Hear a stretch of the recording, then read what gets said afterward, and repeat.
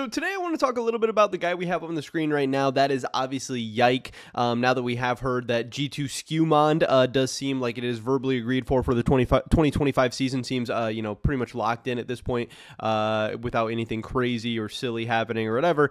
Uh, it does seem like obviously Yike is going to need to find himself a new team. We've previously reported that Yike is going to be available out there with no buyout, uh, which should hopefully help him uh, have a pretty smooth transition to his new home in 2025 because obviously it does seem like there is a strong market for Yike. Obviously, he's being replaced by G2 um, because not because he's bad. He was good. He was one of the best, if not the best jungler in the LEC in 2024. Um, but obviously, G2 has different aspirations. They have international aspirations. They want to uh, try and be better than they are right now. Um, and sometimes it's not even just the fact that a player is better or worse. Sometimes it's just how a player fits in a team specifically. And if they don't feel like their team specifically can go to the next level with Yike, that's why obviously G2 is going to move on from him. But uh, there's going to be a lot of teams that would love love to have the services of Yike in the jungle. Uh, and in this video today, I want to talk a little bit about uh, what some of those different options are, what we're seeing so far um, from some different places and, and sources and stuff like that and how all of those could look. Because, like I said, uh, we had uh, Yike, uh, based on our Sheep Esports rankings, ranked as the number one jungler in the LEC uh, for all of 2024. He was obviously very strong. You can see here his win rates and KDAs on a bunch of different champions. I mean, this guy was really good. There's obviously some questions about can he play this champion at an international level? Can he play that champion? Whatever. I know uh, during Worlds, I saw um, some people having some questions about his Lilia and stuff like that. Even though, hey, in the LEC, this guy was 100% win rate with 11.57 KDA on Lilia. But uh, guess what? Sometimes jungling against whatever team jungling against heretics or whatever is different than jungling against uh, top esports or uh, Weibo or whatever. So, uh, like I said, obviously G2 they accomplished everything this year. Yike accomplished everything this year. They were uh, all very very strong. But also the argument can be made on the other half where hey, when you are jungling with Caps and BB as your solo lanes, like hey, uh, you might end up looking a little bit better than you actually are. So who knows? But uh, these are the things we uh, have gotten kind of from Twitter recently. This is from yesterday, I believe, October 20th. Yes, uh, Giant X Jose, uh, co co-owner, co-CEO uh, for Giant X. He tweeted out this. Uh, he said, "Hi, Yike. I'm writing to you because I believe you're at a crucial point in your career, facing a decision that could change everything. I'd like to share my thoughts on the situation in case it helps you."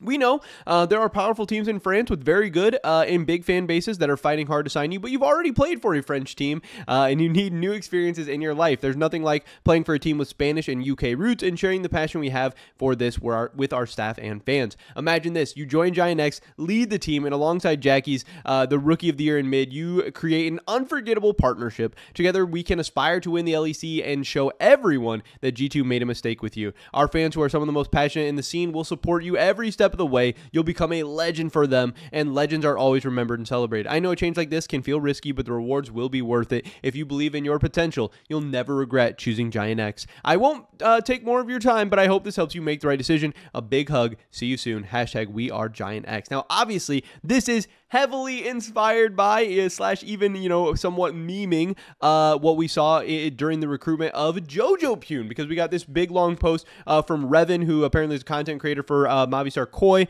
uh, where you know he did this whole thing uh, hi Jojopyun and you know similar type beat to uh, what Jose is saying here. Uh, and then we also had you know the Spanish fans uh, coming out in big force uh, behind this thing. And, and obviously we we did from what we've kind of heard at least from what Ibai is claiming is that hey, the, the support of the fans and, and the outreach and the people showing how passionate they are, uh, maybe inspired Jojopyun a little bit. Maybe swayed him a little bit in the right direction. Maybe Ibai's just saying that to get the fans excited or whatever. Um, but obviously, this is, uh, you know, based on that a little bit. But there also is some truth to this. Obviously, it's not just a meme because they are recruiting him actively because Wooloo then chimes in here and says CEOs leaking themselves which players they want lately. For context, Rogue, Giant X, and KC, Car- uh, K Corp, obviously, are the teams interested in Yike in the LEC since all others have locked jungle. Now, I did think this was funny because below the post, obviously, we have a ton of the, uh, we have Yankos right now uh, feeling a little bit sad because um, obviously Yankos is one of those other junglers that is fighting for those uh, couple open positions we have left in the LEC. There's, there's not very many. The LEC offseason is moving so, so fast.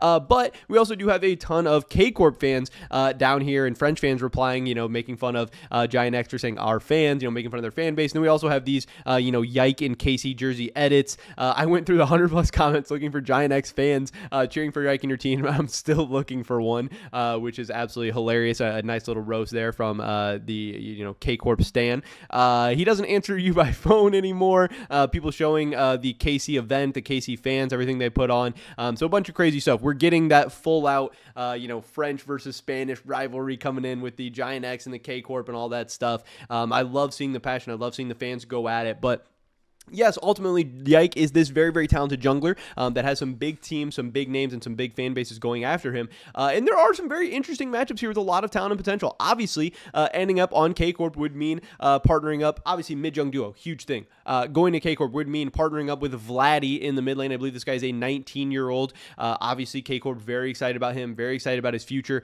Um, we can also take a look at the rest of the K Corp team because we do have uh, the rest of the roster locked in on our Sheep Esports transfer hub right now with Canna up in the top lane, Vladi, Caliste, uh, and Targamas rounding out that roster. It does seem like we have officially locked Targamas for the uh, 2025 season as well. I know there had been some talk about, uh, you know, K Corp maybe, uh, I, I, don't know. There were some people saying like, oh, K Corp should get Mickey or whatever. Uh, but but yes, it does seem like uh, the other four members are locked in there. So again, if you slide Yike into this team, is this team how good could this team be? I don't know. Vladi and Caliste obviously have bright futures ahead of them. Uh, Canna can be a beast at his best, and obviously the biggest question mark there is maybe Targamas. Uh, I know some people are excited about him returning to form and coming back strong, and some people are like, hey, is this guy washed? Does this guy suck? I don't know. We'd have to wait and see. But this team on paper, at their best, in their peak forms, would all be very, very good because we've seen Targamas be a beast before as well. So I don't know. This team looks pretty fun. Would they be able to go to Worlds? Would they be able to compete for titles? Would they contend with, you know, G2, Mad Lions, Koi, these other strong teams we're seeing put together in the LEC? Uh, that's up for you guys to debate for sure. Obviously, if you went to Giant X, you would be paired up with Jackies. Uh, this guy also very, very exciting, very talented guy that many people assume has a bright future ahead of him. Uh, but the bigger question mark here is that Giant X uh, has a much uh, less full picture for their roster in place. Now, uh, obviously, if you lock in, if you start to lock in some strong players on your team, maybe that could help you uh, recruit some other players. And Yike is a great talent that I'm sure there's other people in the LEC that would love to play with. Um, yeah, I don't know. Here we have much less information about what's going on, I guess. Obviously, Giant X is one of the teams that could actually bring Yike and Mickey together. Um, I know I asked Wooloo a little bit about that during our live stream. It's like, hey, do Yike and Mickey want to play together? And what Wooloo said was pretty much like, I don't think think they're opposed to playing with each other. I don't think they would mind playing against each uh, with each other. They're not. Uh, it's not like they like butted heads on G two or anything like that. And uh, there are some teams that have been talking to uh, Yike and Mickey together. So Giant X is at least one of those potential landing spots. Obviously, K Corp can't take Yike and Mickey if they have Targamas as support uh, already. So that is a potential landing spot for them to go together. And if you have a core of Yike and Mickey on your team, your team's going to be talented. Your team's going to have a chance I'm not saying that if Giant X gets Yike that they're going to get Mickey as well, but that's at least one possibility. Uh, and then uh, obviously uh, just even building that team around Jackie is something very very exciting there. Uh, and then obviously uh, as Wooloo talked about, the last possibility we have here, I thought I had the Wooloo tweet pulled up somewhere. I don't know. Maybe I clicked off of it. Um, but yes, Wooloo talking about Giant X, K Corp, and then Rogue uh, being that last potential landing spot for him. with obviously Larssen, Yike and Larssen mid Jung duo could be very fun as well. Y- Larssen maybe not coming off the best individual season uh, that he would have liked to have in 2024. But uh, obviously, getting a great jungler to pair him up with could definitely uh, potentially help him bounce back in 2025 in a big way. That could be something cool to see. We know Larssen at his best is a beast. Larssen at his best is uh, one of the best players in the entire LEC, even if he ne- wasn't necessarily that in 2024.